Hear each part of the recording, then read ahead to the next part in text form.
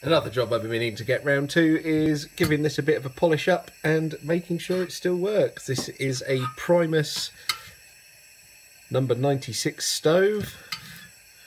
I think we'll just give it a quick polish, see if it lights.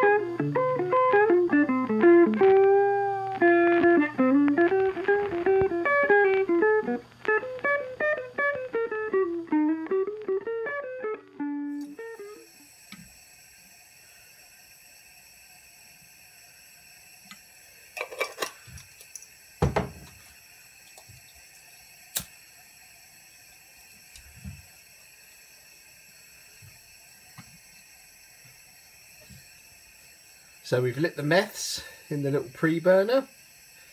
What you pretty much want to do is wait till it's nearly gone and nearly bubbled away to nothing. And at that point, you start pumping.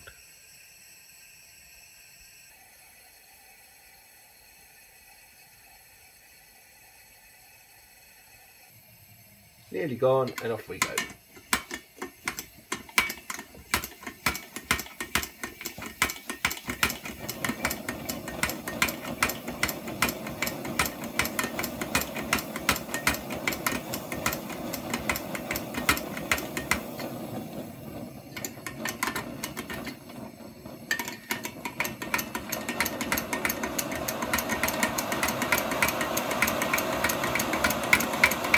Helps if you shut the little vent valve.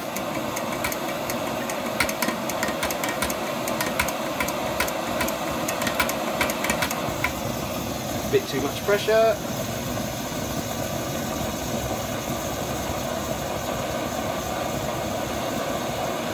There you go. Still working.